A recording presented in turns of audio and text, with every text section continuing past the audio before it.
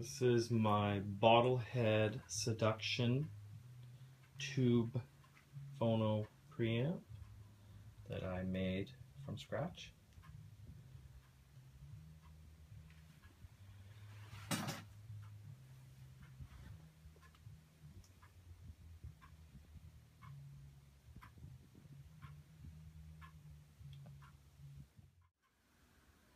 This is the underside of the Seduction phono preamp.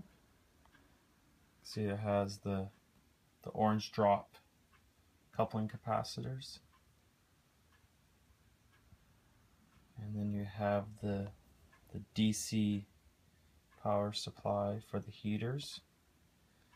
And then we also have the power transformer with the reverse recovery spike filter power cap section. And then these are the power cap filters here. And then the copper here is a ground bus to help eliminate any type of grounding issues that may create a ground loop in your system. So it's a well thought up design by Bottlehead and it uh, is very uh, quiet the tube shields. If you have a house that's prone or an area that's prone to some RF, Bottlehead recommends running the tube shields to help quieten the sound.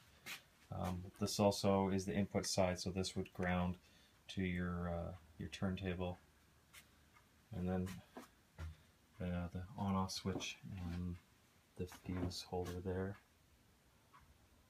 and this would be your output to your amplifier or your preamplifier that has the volume control.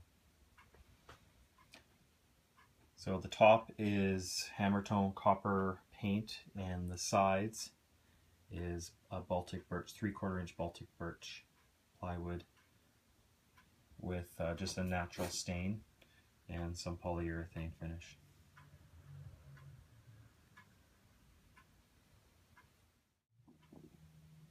I here have the Philips NOS tubes that I got from the tubestore.com. These are ECC88 tubes. Uh, these were purchased as NOS, meaning new old stock.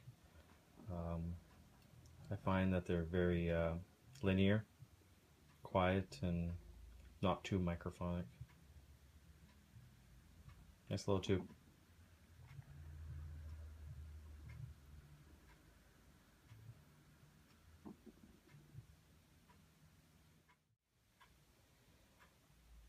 And now it's turned on and the tubes are glowing. The heaters are working. So you can kind of see that. These tubes don't glow all that much, but you can see they're actively glowing.